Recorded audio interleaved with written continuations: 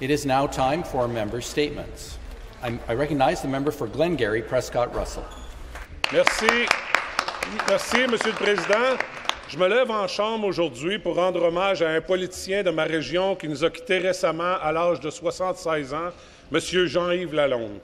M. Lalonde a été maire de la municipalité d'Alfred Plantagenet de 2003 à 2014. Il a occupé le poste de président des Comtés unis de Prescott Russell à deux reprises, soit en 2007 et 2011, en plus d'œuvrer à l'avancement de la francophonie ontarienne à titre de président de l'Association française des municipalités de l'Ontario, l'AFMO.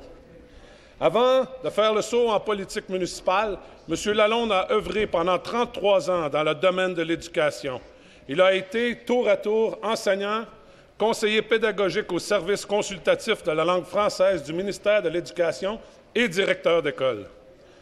Il a également été membre fondateur de l'Association francophone pour l'éducation artistique en Ontario, l'AFAO.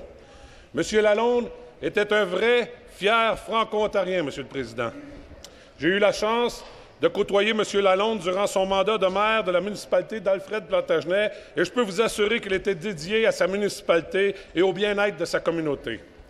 Plusieurs politiciens peuvent prendre exemple de M. Lalonde, qui avait une excellente formule quand ça vient à trouver le bon équilibre entre le travail de maire et son devoir de père de famille. On mentionne qu'il avait accompli de grandes choses. Sa famille demeurait de loin son plus bel accomplissement et il était tellement fier d'eux.